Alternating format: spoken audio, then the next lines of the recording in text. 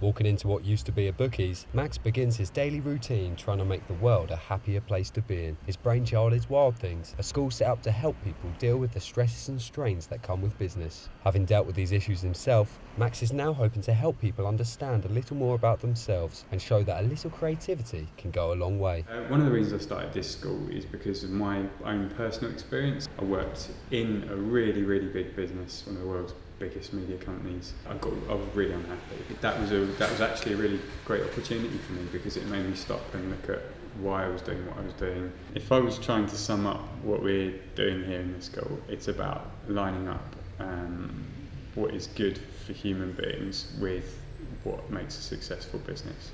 How do you help people turn their uh, sense of purpose, their sense of values, their vision into uh, a successful project or an organisation that has a positive impact in the world. The hospitable economic climate has helped this alternative way of seeing business flourish in many parts of the world. Although it's a new idea to the UK, Max insists that Brighton's free thinking attitude is the perfect place to springboard these concepts. I think Brighton for a long time has had um, a very different idea, uh, a very sort of alternative uh, mindset and alternative economy.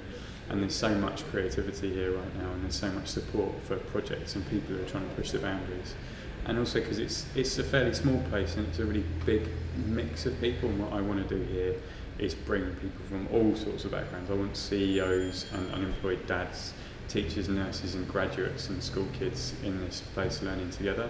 And Brighton's a perfect place for that. Using an old William Hill as the school's home, he's hoping a few investors can back his winning idea. This is Jody Doherty Cove for latest TV news.